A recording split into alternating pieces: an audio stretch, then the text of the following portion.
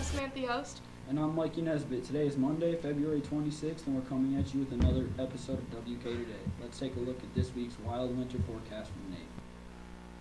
Thanks guys. Yesterday windstorm knocked out power to hundreds of thousands of residents, and we are still feeling the gust this morning.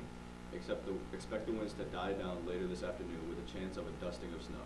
Tomorrow the wind should be gone with a high of 23 by Wednesday morning. The snow is back. We are expected to get around 1 to 3 inches in the morning. The snow showers will continue Thursday and Friday, but look for temps to rise to about 35 for Friday. That's all for this week's forecast. Now back to you with the news.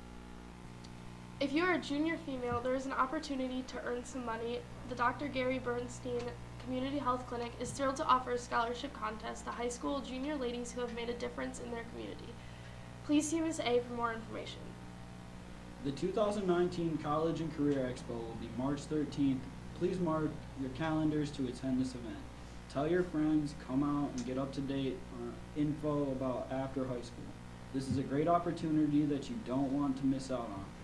If you have questions, please see Ms. A. Current sophomore and junior students with a 3.5 GPA are eligible to apply to be members of National Honor Society.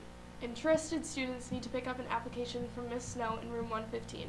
Completed applications are due on Wednesday, March 27th. Now let's turn it back to Nate for sports news.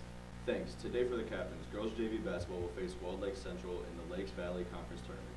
Game starts at 7 at Central. Congrats to senior soccer player Max Nisley as he signed to play four more years of soccer at Finlandia University. The university is in Hancock, Michigan, and Max plans on studying criminal justice. Thanks again for thanks again. That's all for sports. Now back to you at the news desk. This took over 100 students to Disney. While there was a lot of fun in the sun, they also got to perform in front of live audiences and attend some amazing workshops. Let's see a look at their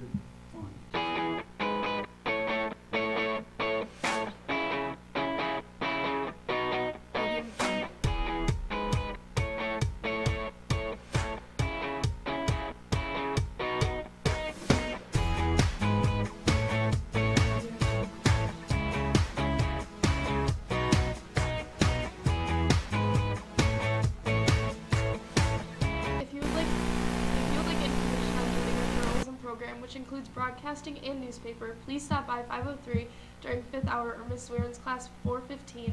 You can sign up during your pre-enrollment.